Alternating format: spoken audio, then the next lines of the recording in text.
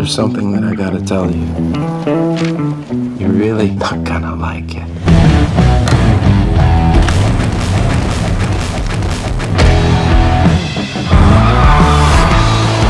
Your real name's Harry, Harry James Barber. and you changed your name because why? The FBI's looking for me because I robbed a bank in California.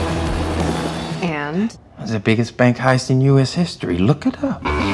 I'm gonna rip off the President of the United States. It doesn't get any bigger or better than that. Seemed like a good idea at the time.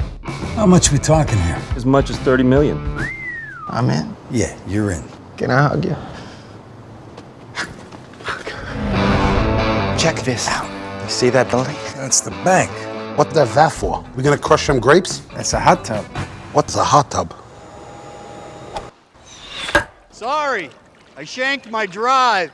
I'll shank you, you sherbet colored ass! If everybody does their job, we should be looking at Nixon's money within an hour. How you gonna shut off the alarm? I'm working on it. I know how you can do it. Fire in the hole. Do it. Hey, look at this! It remains.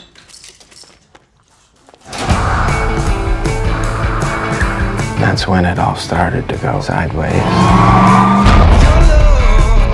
456 boxes smashed open. They were obviously looking for something specific.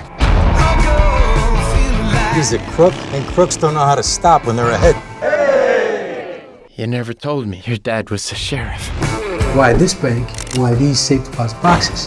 The last time the Bureau assigned 100 agents was when John F. Kennedy was assassinated. John, Harry, Steve McQueen, I don't know what to call you anymore. Buy me Steve McQueen.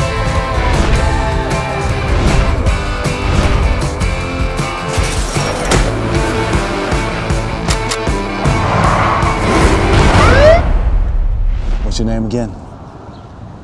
Steve McQueen.